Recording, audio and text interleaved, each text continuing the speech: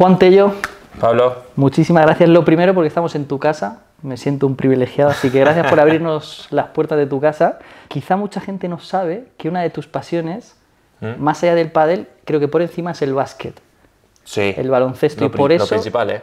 lo principal. Principal. Y por eso empezaste tarde a jugar al pádel, porque empezaste con 15 años. Empecé con, con 15, claro, claro. Yo de hecho entrenaba baloncesto y tenis en su momento. O sea, hacía las dos cosas para el cero. ¿A cuál eras hacía mi amigo. ¿A cuál eras mejor? Eh, baloncesto, porque juego con la zurda, ¿sí no? pero hacía las dos, entrenaba los dos. Y mis amigos, yo iba a ver a mis amigos, me acuerdo, iba, pero estaba ahí y, y nada más. Pero claro, como venía el tenis me enganchó muy rápido, eso fue lo que me enganchó. Si no, no sé, yo de hecho me fui a probar, salí a probarme de. Fui a Capital a probarme el baloncesto, de hecho, todo. O sea, iba por ese camino. sea, no por el pádel. El pádel estaba Pero tenías claro que querías ser deportista. Sí, eso sí, eso sí. Ya viene de mi viejo, de mi vieja, todos deportistas. Todos, ¿Han todos. sido De hecho, mi hermana es profe de tenis, eh, mi hermano ahora es profe de pádel, eh, todos de la rama más del tenis, pero mi viejo ha jugado al golf, eh, casi semiprofesional, o sea, todos de la rama del deporte 100%. Y puede ser que tu remate en suspensión venga de la coordinación Del de básquet, saltar. del baloncesto, ¿eh? tal cual. De los dos pasos, típicos dos pasos, Claro. de la bandeja, igual. Y te Igual, sale- igual. y te sale natural por eso. Sí, lo entrenaba, después lo empecé a entrenar, pero no era que lo tenía que entrenar para hacerlo, ya me salía solo. Lo mejoraba muy poco y estaba ahí. O sea, todo natural, gracias, gracias a Dios. Te voy a mal. enseñar un vídeo, Juan, y necesito que me digas Sí. si sabes de cuándo y de dónde es.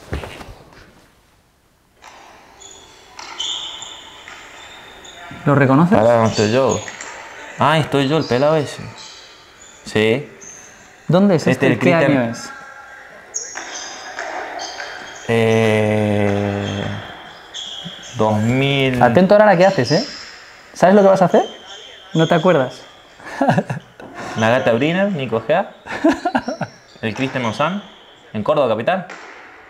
Mira, mira, mira, mira. Toquecito, ¿eh? Ya estaba con, ya estaba con Bull ahí. Sí. Argentina. ¿De qué año es esto?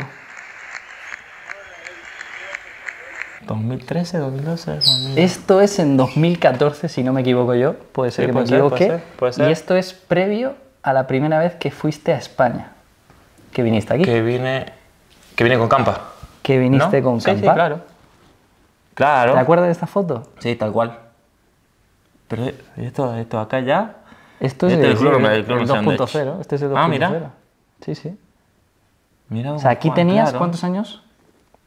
Esto es 2014, del 95. 19, 19 años. 19, 20 años. ¿Te ha cambiado Mira, mucho la cabeza? Campa, boludo. Es más grande. Pero bueno, ha, aprendido muchas cosas, eso sí, ¿eh? Y aquí ya tenías un sueño. Eh, O sea, porque viniste a España. por no, algo. vine a probarme, vine a probarme, no vine a decir, wow, mi sueño es estar ahí. No, venía tranquilo. Si el padre era. Bueno, estaba ahí, estaba ahí. A ver si se me daba esa oportunidad, claro. Y veníamos, vinimos tres meses ahí, con Campa, creo. Y nos fue muy bien, nos fue muy bien. De hecho, quedamos para venir el otro año, pero él vino, pero yo no. Yo no vine. Yo ¿Por me qué? quedé ya en Argentina. Por cuestión económica. Sí, sí, sí, sí. Claro, porque tenías eso, 18, 19 años. Claro. A España tenías sponsors, pero lógicamente no sí, era no, lo que a día de tal hoy. cual, tal cual. ¿Cómo le decías a tus padres, me voy tres meses a probar a España? Eh, ah, con 19 años, dijimos, 19 años, no, durísimo. Pero eh, yo creo que ellos creyeron en mí, sin duda. Si no, eh, es, es el sueño de tu hijo, así que lo vas a ayudar, creo yo, como haría con mi hijo. Vamos a ayudarte para lo que sea, para que lo cumpla, sin duda. Pero ¿Qué trabajabas ya en Eh, aquel entonces. Yo daba, yo daba clases, me acuerdo, en Córdoba capital. Eh, Tomaba una hora y media de, de colectivo martes y jueves, me acuerdo, siempre iba, dos veces a la semana, a dar clases a un pueblito al lado de Córdoba y me volvía. Y entrenaba y así, y así iba. O sea, ese era tu día a día. Sí, trabajé, escuchá, trabajé de lunes a viernes. Otro trabajo que tuve, de lunes a viernes, cobraba 50 pesos en su día por día. eh, de mi amigo Guille, que me acuerdo que me dio esa oportunidad para agarrar esa- ese dinero en un, en un local que vendía repuesto para, para coche. No entendía nada, ¿no? Pero Claro, y todo lo día a día. hacías para intentar dedicarte al pádel. claro, sí, sí, sí, sí, y el día a día. Tirar el día a día, tal cual, tal cual. Y nunca tus padres te dijeron, Juan, ponte a Ya estudiar está, basta. tal. No, no, no, no, yo me moría. Ya, ya que entré una vez en el pádel, que me enchó rápido, en- entré en ese gustito de, de ganar torneos, estuve sponsor, Bull Padel, de hecho, uno de los primeros. Sí, tengo mucha gente que, la- que la nombraría, pero no, me- no lo voy a nombrar por, por si me olvidó alguien, pero tuve mucha, mucha ayuda, eh, tuve mucha ayuda. Pero claro, tenía que dar el, el 100, si no, Sí, sí. olvídate. Juan, ¿qué pasó el 3 de mayo de 2015? ¿Qué pasó? ¿Qué pasó el 3 de mayo de 2015? Ahí puede ser que te cambiara de alguna manera la vida. Es más, te digo, el 3 de mayo de 2015 en 25 de mayo, que es curioso para un español que en Argentina Ah, tenéis vale. muchas ciudades, Vale, sí, y que es una- 25 de mayo, 9 de julio, no sé, es- Tal cual. Un torneo de 250 puntos, creo, de la AJPP con el chingo. Nuestro, nuestro, primer, nuestro primer torneo, tal cual. Este fue, esta fue la final, si no me equivoco. No, esta no fue No, la no final fue porque contra- contra el. Oveja. La El final fue Oveja. contra el Oveja. Vale. Pero esta foto es de vuestro primer torneo juntos, Sí, sí, que sí, fue Con Facu, Facu Sí, que está jugando actualmente, claro. en 2015 y vuestro primer torneo juntos salisteis ganadores. Eso salimos vez, sí, tal cual. ¿Qué pensabais? Vamos a ir por este camino. Claro, y tú te ves Mira. ahí, Este era el club donde salió el partido anterior. Mira, para nuevo, claro. No, yo, yo gracias a Dios tuve mucha, mucha ayuda. Mucha ayuda que obviamente después tenía que demostrarlo no solamente en la, en la cancha, sino en el día a día. No sé si para devolver esa ayuda o para... eh, pero tenés que dar el 100, no hay duda. Si quieres llegar a un lado puedes tener esa oportunidad, eso sí, pero si quieres seguir estando o teniendo esas oportunidades, tenés que dar- el 100 para poder seguir estando ahí, claro. una pareja que os lo puso muy difícil en aquel entonces fueron Estupa y Neno. Sí, claro. O sea, te has enfrentado contra ellos ya no a día de hoy, que también, Toda la vida. pero toda, la vida. ¿Y toda la vida. ¿Cómo se lleva Toda esa rivalidad? Porque con ellos en realidad hay buena... Hay, hay buena onda, hay muy Hay buena, buena onda, muy onda. buena. Personalmente, además, yo con Martín tengo más, más contacto, que vive acá también, de hecho. Eh, María es muy amiga de, de Camila y esta relación se ha, se ha fortalecido aún más todavía con Martín. Con Franco eh, sigue siendo la misma, torneo torneo lo veo. Y después, obviamente, mundiales, torneos menores, pero muy buena relación con los dos, muy buena. Obviamente, después adentro te querés Sí, eh, te tirar querés todo, te querés matar pero nos conocemos muy mucho, muy mucho, muy mucho, es verdad. Un, un clásico te diría. Yo, Sí. yo y Fede, ahora obviamente por separado, pero toda la vida nos hemos enfrentado, toda la vida, toda la vida. ¿Y qué sentíais? Porque ellos eran Ellos eran los uno, y ya habían venido acá, hacía, empezaron antes lo que yo hice después, claro, venían Claro. dos meses, tres meses, se volvían. Yo empecé más tarde a hacer eso. Pero ellos ya tenían esa experiencia europea, claro, claro que sí, y se notaba. Sí, habían ganado todo, te digo. Eh, y hay un partido épico, creo que es el primer enfrentamiento contra ellos, yo y Fede, en Buenos Aires, también un partido de loco. ¿quién ganó? Eh, ganaron ellos, casi siempre han ganado ellos, pero nosotros hemos ganado que alguna otra vez, pero hemos dado batalla siempre, ahí, esa, los cuatro siempre, siempre, siempre. Y siempre, a día siempre. de hoy, cuando les tienes enfrente, estás, por ejemplo, tienes enfrente a, a día de hoy a los Hoy, superpibes, a lo- sí. estás calentando con ellos, no tienes ningún flashback de decir, joder, si hace 10 años Buah, estábamos sí. haciendo esto en Buenos Aires, Y otro día acá otra vez, en y que y, y lo que nos queda. y lo que nos queda. ¿Será que lo vemos tan normal? Lo veo tan normal ya que no, no, no, no, nunca se me ha venido. De hecho, me, me está haciendo acordar cosas que ya se me habían pasado. ¿eh? Pues vamos al siguiente recuerdo, 22 de agosto de 2016. Salías tú diciendo esto. ¿Cómo me contás todo eso, boludo? Uy, espera, espera, que te subo el volumen. Eso sí es la Nucía, ¿no? Esto es la Lucía, creo que sí. Ya me, ya me acuerdo qué pasó. Espera, espera. Pasó algo muy gracioso también. A ver, 22 de agosto de No, 2016. nunca me escucha, nunca me gustó escucharme hablar, boludo. Esta te tienes que escuchar. Esta te tienes que escuchar. ¿Qué tal? Somos Juan y Fede, bueno, estamos acá en nuestro primer Golpa de Tour juntos. La verdad que vinimos hace una semanita y nada, nada adaptándonos un poquito a la, la cancha y la pista y bueno, la verdad que, que estamos muy contentos por entrar a la previa, es un buen resultado. ¿En serio, eh? Por- por Ah, entramos primera previa ahí, vale. nada, Contento y a, y a seguir luchando como siempre. Bueno, mandamos un saludo a todos los que nos están apoyando de allá y que están haciendo fuerzas, así que bueno, un abrazo para todos. 22 de Ahí agosto. entramos a previa, claro. Sí, sí, es Entramos a previa. vuestro primer, tu primer. World del Tour, Sí, vuestro claro, primer World sí, del sí, Tour claro, juntos claro. en, en la Nucía. Y yo creo que ahí entramos a, entramos a cuadro, creo, porque no sé si es el mismo día Yo o creo misma que no. noche. ¿No? No, No, lo no sé. lo sé, ¿eh? Pero siempre me acuerdo de la, la pista y el lugar, que lo alzaban al chingo en los hombros, toda la gente ¿Sí? rodeándole, eh, tal cual. Porque contigo no podían. No, sin duda, sin duda. ¿Qué Mira. significó ese primer World del Tour? ¿Estabas nervioso por decir, ostras, ahora sí que estoy en la Champions No, League? sí, por, a ver, y por demostrar, porque está toda tu gente viéndote ahí, a ver qué pasa, cómo, cómo Bueno, te va, hay- estás hay poca pensando. gente, poca gente No, pero sí, ahí, pero digo de tu, de tu casa, de tu, de tu Claro. país. Claro, nosotros teníamos mucha gente y claro, éramos la segunda dupla, porque Martín y Franco también eran chicos también y éramos nosotros ahora. Y más yo de mi ciudad, que era el único que había salido. Y bueno, estaba ahí como, obviamente nervioso y pensando en todo eso, puedo pensar, sin duda. Pero, en tu ¿Y ahí qué pensabas? O sea, ¿te acuerdas de decir, Buah, este es el primer World del Tour, en dos años soy número uno? No, Iba- no, no, no, no, Ibas no, con no, los nervios de no, decir, no, no. a ver si no me meto en Íbamos 6 0 pasito pasito, sí, sí, pasito pasito. Claro, intentar conocer a, a cómo jugaban, porque nuestro juego allá en Argentina era, mucho más rápido. Por la Al ser pista. cemento, eh, claro, la, la- la pelota patinaba y se te venía encima. Y normalmente, bueno, ponía la pala y intentaba salir, pero acá es que era otro mundo para nosotros, era otra cosa. Y yo que normalmente le pegaba fuerte, porque claro, en aquella pista era tac, tac, y no, no terminaba quizá, o bueno, se le hacía más difícil. Acá no, acá tenías que pegarle bien, si le pegabas por tres, bueno, en previa y pre-previa no se salía, creo, no me acuerdo, creo que no. Pero claro, vos tirabas un gol, ya todos acá se plantaban, le pegaban por tres y salía. Y tenía que cambiar durante cada partido porque era un mundo cada partido, ¿no? ¿Dudaste de ti? No, eso no, no, no, nunca, nunca, nunca. Con fe ya veníamos con la, con la mentalidad, con ese pensamiento en, obviamente, en tratar o intentar hacer las cosas bien, pero que esto era lo, lo nuestro, sí, sí, sí. sí. Pero que la gente a lo mejor no lo sabe, cuando llegasteis a España habéis vivido en Málaga, habéis vivido en, Uh, en- bueno, en mil un- un sitios. tour ahí, sí. Sí, sí, tenéis un tour y habéis hecho kilómetros en coche Mm. hasta Mónaco, desde Málaga, o sea, unas auténticas locuras. Locura, de- aventura. de el todo. camino para que hoy estés donde estás. Sí, capaz que llegamos tarde acá a Madrid, capaz. a Sí. Donde estaba toda la gente, todos los profes. Y capaz que ahí perdimos un poco de, de tiempo, creo yo, para intentar explotar un poquito antes con, con Fede.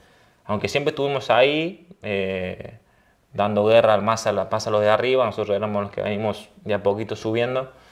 Pero, pero igualmente hemos aprendido y hemos disfrutado de toda esa experiencia, de cada ciudad nueva, cada gente, conocer gente, así que no, yo por lo menos no, no me arrepiento de eso. Pues Juan, si eso era el 22 de agosto de 2016, menos de un año después, pasa esto.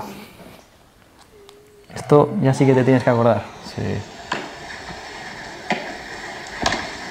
Bueno ese pasito, ¿eh? Sí, claro, sí.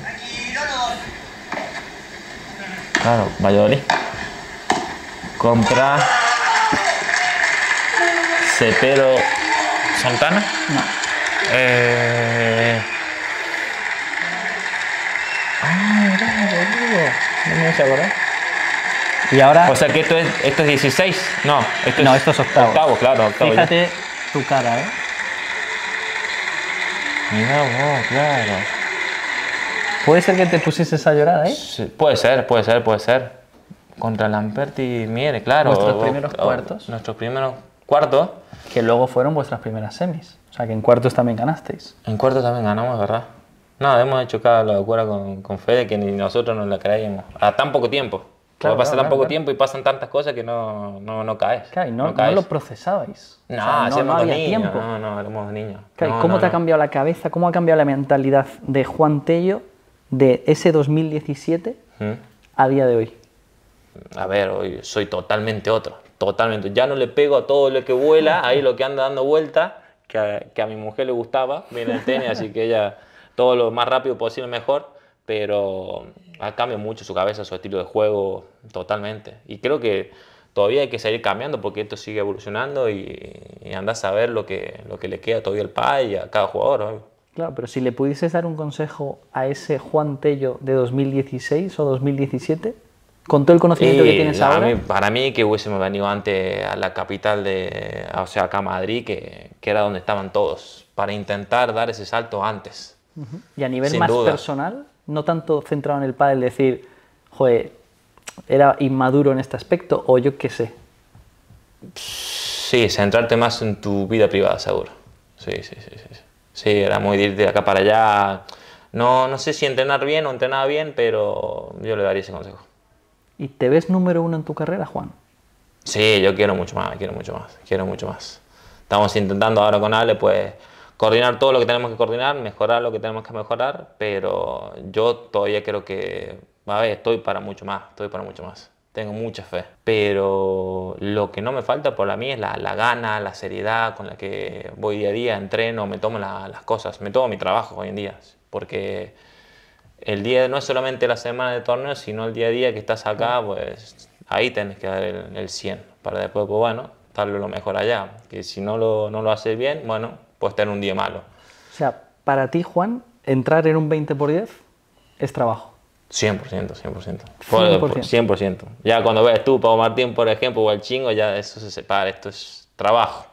O sea, pero te diviertes un poco en tu trabajo. Eh, uf, intento. Yo soy muy serio en la, en la pista. Intento no desenfocarme con nada, con nada, con nada. Porque ya me, ya me distraigo yo solo, toca hacer algo que no hago, Y ya- y ya me voy solo. Y en eso estoy mejorando, por lo menos intentar hacer lo que tengo que hacer en cada momento. Importante o no, pero eh, ir en esa línea. Y a ver, me estoy sintiendo muy bien, estoy, yo creo que estoy mejor y, y que puedo para, para mucho más. Sí, sí, sí, sí. Pero vos me darás serio porque es serio o mala onda, no, es porque intento no, Claro, no claro, o sea, distraerme estás- con, con nada, con nada, claro. Sí, es, hoy, bueno, hoy en día son dos horas ya de partido casi. Pero son dos horas, dos horas y media que tengo que estar a full. Ya y después. en los entrenos igual. No, claro. Si vos querés estar a full en los partidos, tenés que estar a full en los entrenos, porque de alguna manera también lo tenés que entrenar. Si vas a los, a los entrenos más relajados, después no pretendas estar enchufado o serio en los partidos. Lo que, tenés, lo que haces en el entrenamiento lo, lo tenés que hacer eh, o lo haces mejor o más fácil en los partidos. Si no, no, no. Esto de ir a entrenar así no, o a, a poner el tilde, Sí. no, no va, no va. No va. Juan, ¿cómo conociste a tu mujer, a María? Eh, Sí se puede contar. Sí, claro que sí, una historia muy, muy loca, muy linda, muy todo. ver. En Murcia, de hecho fue también, creo que volví a de lesionarme Del y pie, puede ser. Puede ser, sí. Y bajamos a previa, pre-previa con Fede. Bueno, entramos a cuadro y, y mientras estaba ahí en las previas todo, ella fue a ver a su profe. Ella del pádel, cero, cero, cero, 100% tenista María. Y, El deporte y- equivocado. Exactamente, claro. Por eso ahí viene todo de que le gustaba, porque claro, yo era el que le pegaba todo en su momento, todo rápido. Le pasaba una bola, salí fe de que lo voy a pegar. El más tenista de los padelistas. Y era, claro, y ella venía el tenis y, en su, y fue a ver su, a su profe, que también jugaba pre-previa. Y claro, yo estaba ahí jugando pre-previa también. Y claro, y, y este, dice a su profe, claro, este le pega fuerte, este juega como quiero jugar yo. Y claro, el padre era todo más, más tranquilo, pero bueno, en su momento yo era otra cosa. Y, y quedó ahí, pero ya me había visto. Bueno, Tú no sabías nada. no, cero, cero, cero. Yo ahí nada, cero. Eso comentándole ellas a sus, a sus amigas y a su profe. Eh, bueno, llega el sábado, metemos semifinal con Fede en Murcia, en el último torneo de Murcia, porque después pasa a Alicante, ya, ya no se hace más Murcia. Eh, jugamos semifinal y, y sus amigas fanáticas del pádel iban a salir de fiesta en Murcia. Ella vive en Totana. Bueno, en Totana y Alama, sus amigas todas. Bueno, Claro, las amigas no iban a ir a ver pádel, volver a buscarla a María y e ir a- de fiesta. Eh, así que acompaña a sus amigas a ver la semifinal. ¿Y quién estaba jugando en la semifinal? El mismo chico que había visto en, En en pre- pre-previa. Y dice, pero ¿cómo? ¿Está este mismo? Vamos a alentarlo a, a este, que me gusta. Bueno, queda ahí, eh, perdemos con, con Sammy Maxi. Me acuerdo que no había contacto como hay en ciertos torneos con la gente, sino que había una grada allá arriba. Y, y voy saliendo yo y escucho a alguien que me grita pidiéndome una, una camiseta. Porque claro, ella me veía, me veía serio jugando, claro, veía el chingo, siempre sonriente, siempre para allá, nenito chiquito, ya te saco una sonrisa solo. Y me veía, me veía a mí muy serio. Claro, Y encima claro, y habías fue la perdido. broma. Habías perdido. Y había perdido. Estabas Imagínate, claro. Claro. Y, y claro, la idea de ella era sacarme una sonrisa pidiéndome algo, dame una camiseta o dame... Y le digo yo, la miraba y le digo, no, no puedo darla. Y me dame un cachetín lo que sea, no, jaja, que quedó ahí. Yo me fui caliente, no sé por qué, con la ansiedad, con los nervios, me, me fui, me fui. Y al otro día, eh, tenía redes sociales en su momento, veo al otro día un mensaje en, Instagram de ella, claro, diciéndome, soy yo la que te pedía la camiseta, el calcetín, nada, desearte suerte, lo más cordial, lo más tranquila. Sí. Y la hora del mensaje a las 5 y media de la mañana. ¡Oh! una duda. y, y bueno, claro, tú lo viste a la mañana siguiente. yo lo vi el otro día, claro. Y, y bueno, quedó ahí. Hasta, y bueno, eh, a partir de ahí no dejamos de hablar. Yo me fui a Argentina, yo me iba, claro, porque el máster no entrábamos, yo me iba ya lo que es verano, allá diciembre, enero, febrero, así lo prende por ahí, me venía en marzo ya para empezar los, los torneos. Y esos tres meses no dejamos de hablar. Pero claro, ¿quién me escribió ese mensaje? No fue ella, fue la amiga, diciéndole que había visto la mirada, que yo la había mirado, que yo me había dado vuelta. Anda a saber cómo estaban a las 5 y media de la mañana que me escribió ese mensaje, sin ningún error el mensaje, así que bueno, después de que más o menos estaba, estaban bien, y ahí empezó todo, y así, y ahí. Sí, sí, todo casualidad porque fue a ver previa, después semifinal, metemos semifinal nosotros y Bueno, o sea, Sí, el padre sí, te ha sí, dado un sí, trabajo y te ha dado tal, la sí, mujer de tu tal vida. cual, tal cual, tal cual, tal cual. Hasta que el 16 de abril de 2020 Sí, te cambia la vida. el, el 15, Uy. el 15, el 15 de abril de 2020 Fallé, ¿eh? llega, llega el demonio, sí, sí, sí, deslicé. el rubio, sí, sí, sí, todo, todo muy rápido. Este, cambia totalmente, totalmente, sí, sí, sí. Hoy ya tiene tres añitos y medio, va a llegar en breve ya después, pero sí, sí, sí, sí. ¿En qué te cambia? Uh, personalmente te cambia, de primero, personalmente, te cambia la vida, te cambia la vida. Así que, claro, ahora uno entiende a sus padres cuando la preocupación de tu mamá, de tu papá, bueno, tu mamá que te cuida, tu papá te, te acompaña o, o te da otros gustos, pero tu mamá que, cuídate bebé, avísame cuando llegue, avísame. Y ahora uno lo, uno lo entiende, uno lo entiende. Cuando es padre, eh, entiende todas esas cosas, esa preocupación de padre, todo, de madre eh, y lo que se disfruta ahora. Yo creo que ahora tiene tres años y medio y es la mejor edad para mí, creo yo. Eh, intenta hablar, corre, te, te, te quiere explicar. eh, ahora con- eh, repite todo, así que tengan mucho cuidado. No, no, no. Una felicidad increíble, increíble. Claro, increíble. pero pasando tanto tiempo fuera, Para mí crece muy rápido. Sí, Claro. lo que digo ¿Cómo siempre. llevas eso? Lo que digo siempre. Yo me voy dos semanas y, y cuando vuelvo ya está para mí un metro, un metro crecido y una palabra nueva, te cuenta todo ya, lo, lo que ha hecho, lo que se acuerda el otro día, no sé qué. No es un personaje. Habla, habla como la abuela, habla como la madre, tiene todo y la cara mía. claro, y Juan, de un momento tan feliz como ese, al Sí. 3 de octubre del año pasado, que Sí. seguramente haya sido uno de los peores momentos, imagino yo, de tu carrera deportiva o de los más Sí. Que fue cuando imagino que levantaste el teléfono, o no sé cómo lo hiciste, y le dijiste a Fede Para, que... ah, para avisarle. Sí, sí, sí, sí, sí, sí, sí. Sí, ya no veníamos, en ese momento no veníamos bien con, con Fede.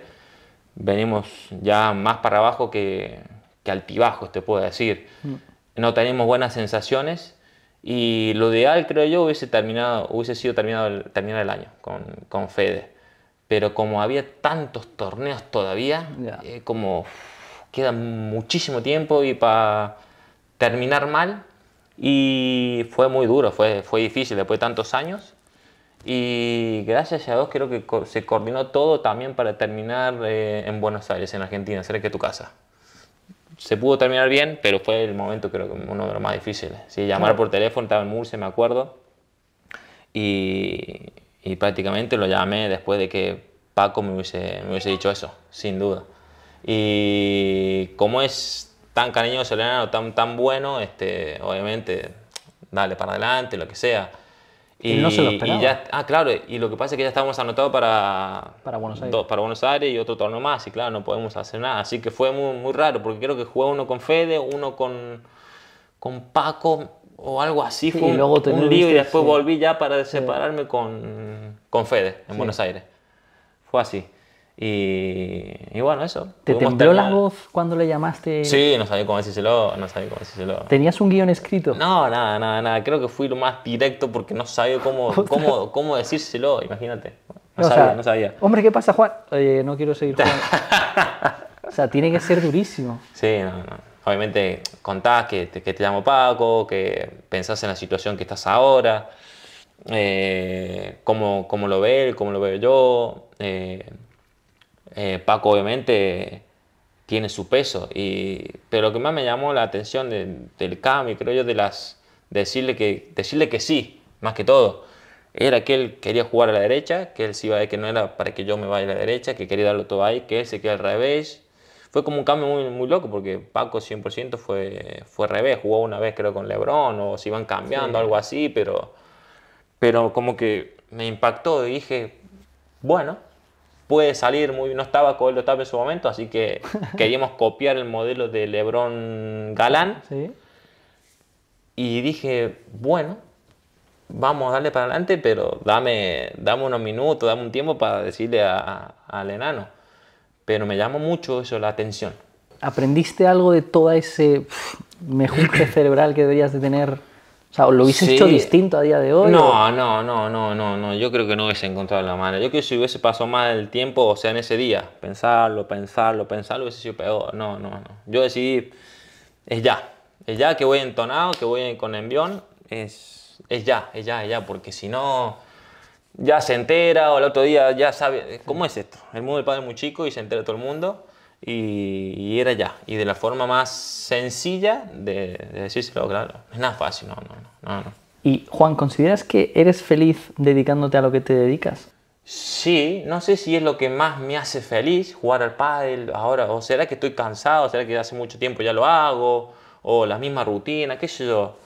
Eh, sí soy muy estricto, soy muy estricto así con, con comida, con entrenamiento y eso, que a veces me estresa de más y estreso de más a, a, a mi gente, pero no sé si lo definiría que es lo que más me hace feliz o si me hace feliz. No, yo no, estoy bien, me gusta, pero, pero no es lo que más me hace, no, no, más me hace feliz, creo que no.